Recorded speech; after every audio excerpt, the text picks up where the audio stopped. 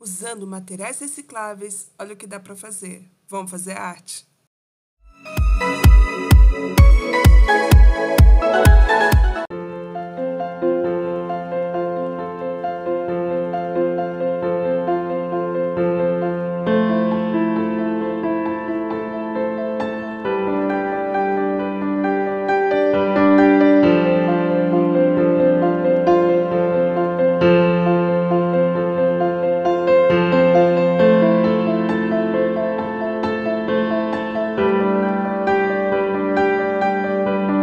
thank you